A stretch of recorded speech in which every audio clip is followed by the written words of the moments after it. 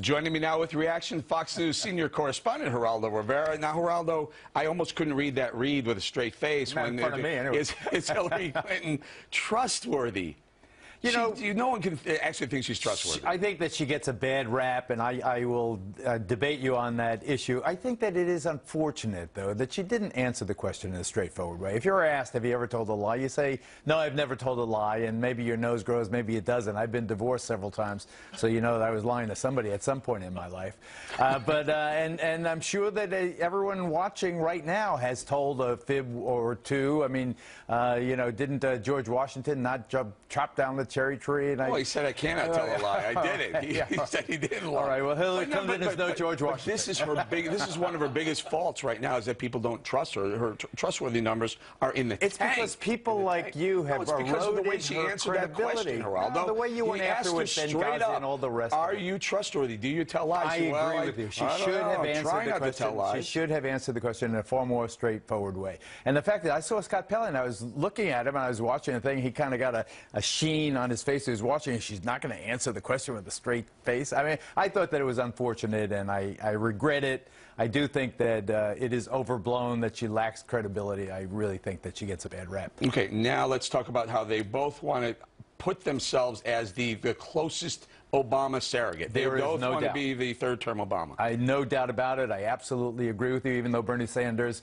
uh, is and has been a professed independent and socialist uh, for most of his life. In South Carolina, let me just go there first. 55% of the Democratic primary electorate is African American. Among that group, 90 plus percent approve of the job President Obama has been doing, the way he's handled his job. It behooves Hillary Well, Clinton. and why would that be, though? And, Well, and- well, that, that, we can debate that, but I just want to Well, just want to give but- you the. But it is interesting. I want to give you the, to, the to facts. go in depth why they approve of President Obama's job because I- they're clearly not working as at, at, at the rate they were prior to President Obama. I- I- they're in a I deeper grant that. poverty, and I- their their incomes are lower. Let's put So aside the why are they objective facts. I'm, I'm just giving you the surveys.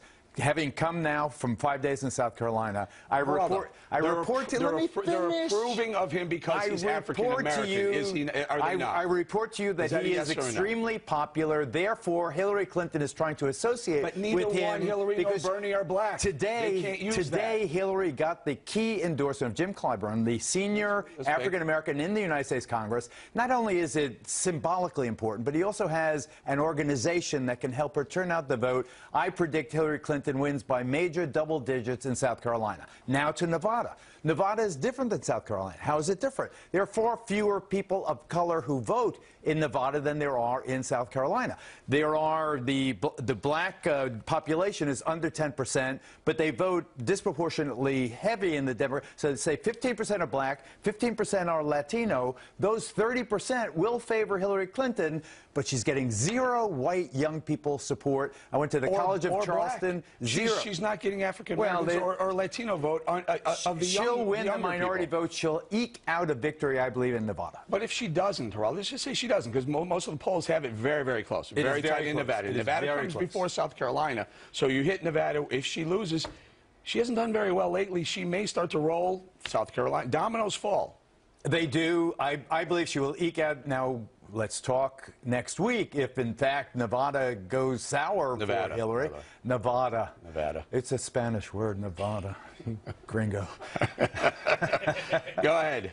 I, I believe that she'll eke out a narrow victory in Nevada, and I think that she'll overwhelmingly win South Carolina, and then she'll begin to roll. No doubt. That's the firewall, though, right? You were talking about the is the firewall. firewall. The firewall works. Let's Black talk about, people will say but, Hillary but, but, but, but will they? I and, think and, and why? Because the Clinton family has been symbolically so close to the African Americans. She was there for the civil rights movement. She was a storefront lawyer and all the rest. She has, she has the credibility. We've talked all week about what Bill Clinton has done for the African American Right. community. What?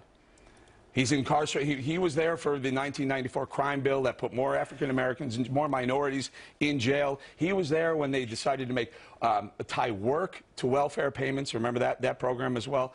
Sister Souljah. They don't like. They didn't. Yeah, Sister Souljah, Mom. They didn't. They don't like. So that's it. Just Sister Souljah. There, there that's is- it. there is a, s- a style and a feeling and Because a he played a saxophone. Well, that- that's part of it. It is a respect that he and the Clinton family has shown this community that heretofore had been taken for granted. He embraced them as a as a white governor coming out of Arkansas. He he had the pretension to be the first black president, quote unquote, uh, you know, because he was so simpatico in so many ways that it's almost instinctual. I, I agree with you that objectively speaking, Clinton was a much more of a centrist, as I believe Hillary Clinton will be, than his reputation. And the Obama numbers. The Obama numbers for African Americans are horrendous. Yeah, the the, the, the as it may. African American um, group is the only group, not Latinos, not whites. Latinos and whites' incomes have gone up under President Obama. Incomes. Blacks have gone down. The only group. Do you know there is there is something to be said? He is the first black man to Hmm. run the most powerful country on earth.